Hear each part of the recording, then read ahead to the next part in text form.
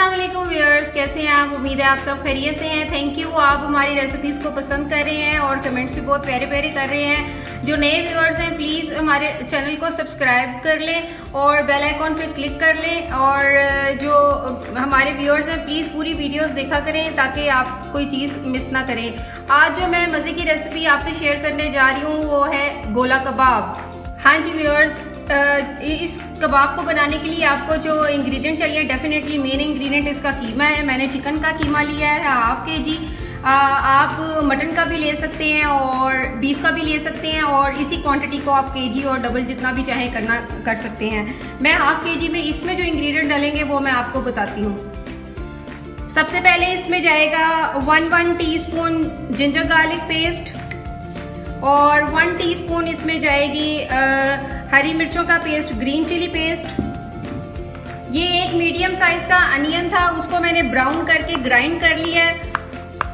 इसमें प्याज जो जाएगा वो कच्चा प्याज नहीं जाएगा ऐसे ही ब्राउन और ग्राइंडेड होगा। अब इसके ड्राई इंग्रेडिएंट नोट्स कर लें। उसमें है one teaspoon salt one teaspoon कुटी लाल मिर्च वन टीस्पून जीरा भुना कुटा और धनिया भुना कुटा वन टीस्पून।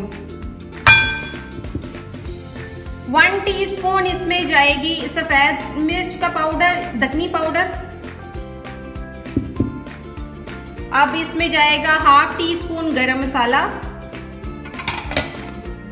इसमें हाफ़ टी स्पून ही दालचीनी का पाउडर जाएगा जो इसके टेस्ट को जरा डिफरेंट करता है सबसे। और इसमें हाफ़ टी स्पून ही इसमें जाएगा जायफल जावत्री का पाउडर जो इसको खुशबू देता है।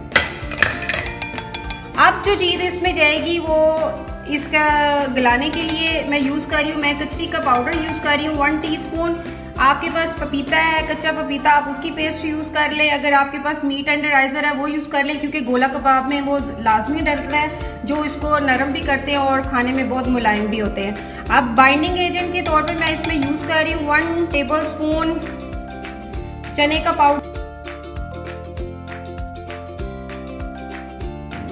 हाँ जी वर्स ये देखिए, मैंने इसको अच्छी तरह से मिक्सअप कर लिया। कीमे को आप इसमें मैं वन टेबल स्पून बटर डालकर इसको अच्छी तरह से मिक्स करती हूँ।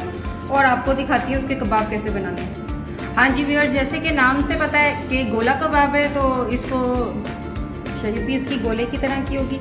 आपने छोटा सा एक बॉल लेना है। ऐसे बना लेना है इसको राउंड राउंड इस तरह आसान हो जाएगा आपके लिए। जैसे कोफ्ता बनाते हैं, उस तरह बनाकर आपने जैसे इसको सीख के अंदर डालना है। तो ये प्यारी सी शेप इसकी बन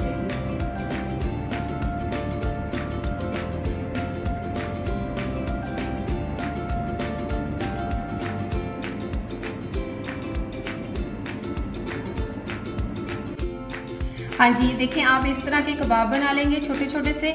आप इस स्टेज पर चाहें तो इसको फ्रीज भी कर सकते हैं। फिर आप चाहें तो फिर बाद में इनको बारबेक्यू कर लें। एक चम्मच तेल डाल के आप पैन में इसको फ्राई कर लें। जिस तरह आपका दिल चलता है, उसको इस तरह बनाए और इन्जॉय करें।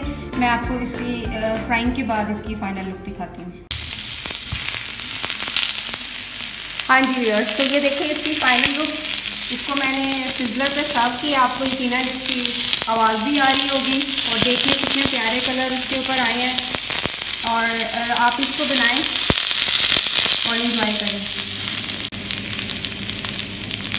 हाँ जी थैंक यू आपने हमारी पूरी वीडियो देखी और इसको पसंद किया। प्लीज़ इस रेसिपी को ट्राई कीजिएगा और दाद वसूल करेंगे इन please like and subscribe our channel stay connected and keep watching thank you